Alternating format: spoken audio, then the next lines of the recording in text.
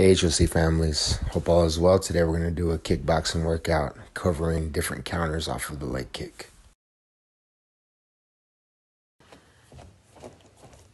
All right, guys, for the warm up, we're going to get a clinch going, and I want to work switch knees. We're going to go for one minute just to get a burnout. One minute, switch knees. Outside, outside, outside, straight, straight, straight. Next one, one minute burpees. We go hands down, back, hit a push up if you can, jump.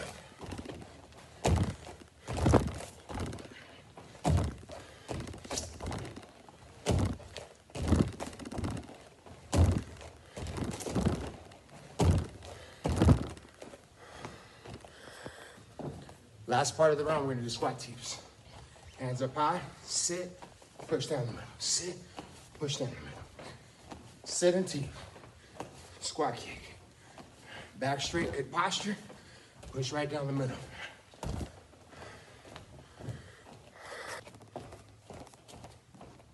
First option off of the leg kick, so we're gonna check.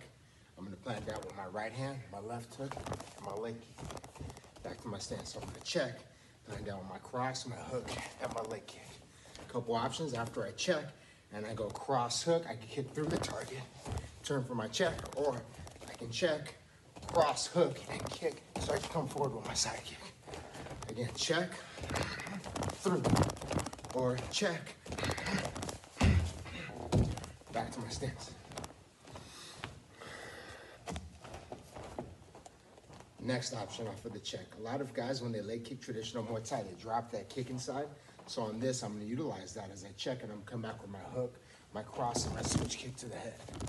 So when they go to kick, their hand's gonna be down, so I hook right off of that. Hook, cross, switch, kick. Check, hook, cross, switch, kick. One more time, check, hook, cross, switch, kick.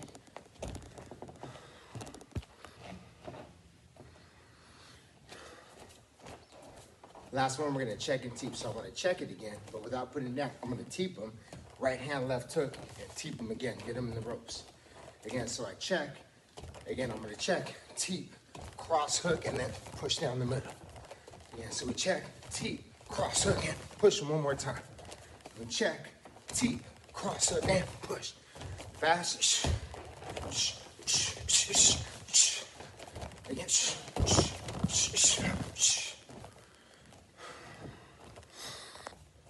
Okay, we're gonna put all three together now. First one, we're gonna check, and we climb down with my right hand, my left hook, and then a leg kick.